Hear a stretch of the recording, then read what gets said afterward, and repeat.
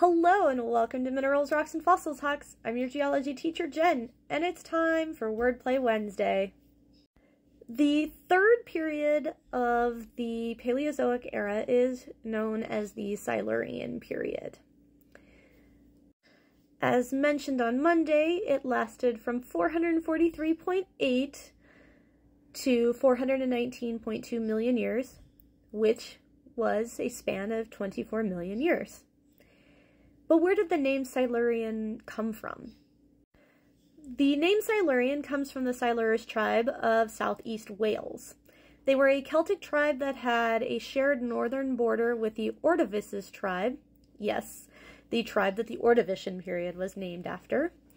And the people were described as looking closer to the Celtic tribes of the Iberian Peninsula than to the rest of Britain. It is possible that they had migrated there before Rome had conquered the island, especially because that part of Wales was fairly close to um, the Iberian Peninsula. The word Silures might have come from the root word silo, meaning seed, and might have meant kindred stock. So, cousins, basically. And honestly, I think it's super cool that a bunch of these early periods were named after um, Celtic tribes.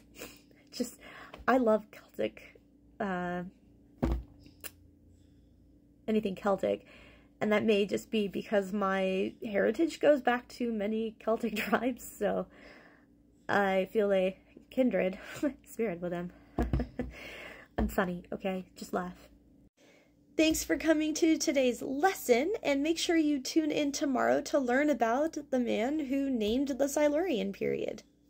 Fossilize later.